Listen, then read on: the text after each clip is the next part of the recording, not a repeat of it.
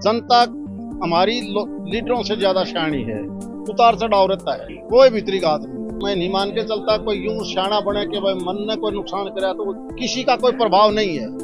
Voter का फैसला है वोटर ने बहुत अच्छा फैसला दिया हमने नहीं जेजेपी का मैं तो अभी वोट देख रहा था हिसार पार्लियामेंट से। मौजूदा विधायक थे हमारी बाडड़ा से।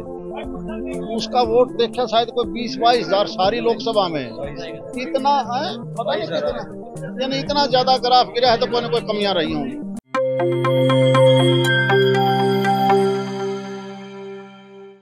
भिवानी मेहंदगढ़ लोकसभा से तीसरी बार बीजेपी से सांसद बने धर्मवीर सिंह ने बीते दिन 6 जून को अपने दादरी निवास स्थान पर पार्टी कार्यकर्ताओं की मीटिंग ली और पत्रकारों के साथ बातचीत की।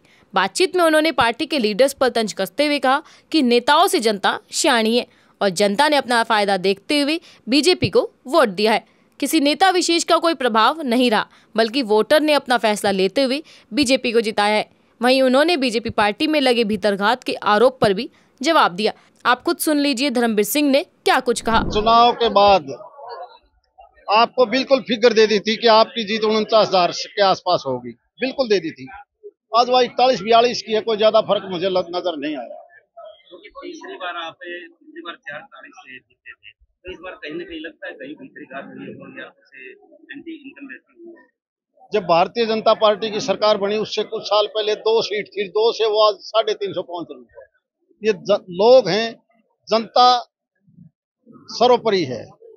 कांग्रेस जो कभी सरकार बना रही थी, जब चुनाव आए तो मात्र अड़तालीस सीट रहेगी। उसके आगे लीडर कोई बोलता तो झूठ बोलता है। जनता, हमारी लीडरों से ज़्यादा शानी है। उतार चढ़ाव रहता है। कहीं ना कहीं भीतरी घात का भी कोई भीतरी घात नहीं। भीतरी घात क्यों था? लीडर नहीं जनता और वर्कर काम करता है। मैं नहीं मान के चलता कोई यूँ शाना बने के भाई मन ने कोई नुकसान कराया तो वो झूठ बोलता है। आपकी पुरानी भिवानी में इतनी लीड नहीं मिल पाई आपको।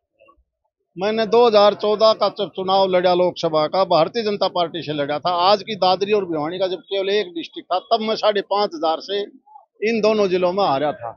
इस बार केवल ढाई हज़ार से हारा हूँ तो मैं पहले से बढ़िया हूँ घटा नहीं हूँ। कहीं ना कहीं लगता है कि भाजपा के जो बड़े नेता हैं उनके गाँव से आप हारे हो तो लेकर मंथन किया आप मैं कहता हूँ वोटर हर वोटर है। मेरा मेरी मिसिज मानना कोई ज़रूरी नहीं। मेरा भाई मेरी मानना कोई ज़रूरी नहीं। मत है वो आत्मा का है। किसी का कोई प्रभाव नहीं है। वोटर का फैसला है वोटर ने बहुत अच्छा फैसला दिया है।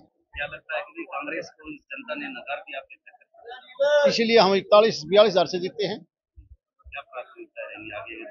जो पाँच साल में है, हमारा जो रोड मैप है, केंद्र में हमारी सरकार बनने जा रही है। इस पिछले दस साल में हमने कोशिश करी है, नहर के मामले में रोड कनेक्टिविटी के मामले में रेलवे के बारे में हेल्थ के बारे में एजुकेशन के बारे में, और आने वाले पाँच साल में हम इसको तेज़ी से बढ़ाएँगे। क्या लोकसभा का असर विधानसभा अब लोकसभा का चुनाव अलग है विधानसभा का अलग है पंचायत का अलग है। अलग अलग फैसले लेते हैं लोग। क्या लगता है में तो मान के चलता हूँ। मैं तो बिल्कुल मानता हूँ। लगता है कि आपने यहाँ पर बीजेपी और इनलों का। हमने नहीं जेजेपी का मैं तो अभी वोट देख रहा था हिसार पार्लियामेंट से। मौजूदा विधायक थे हमारी बाडड़ा से।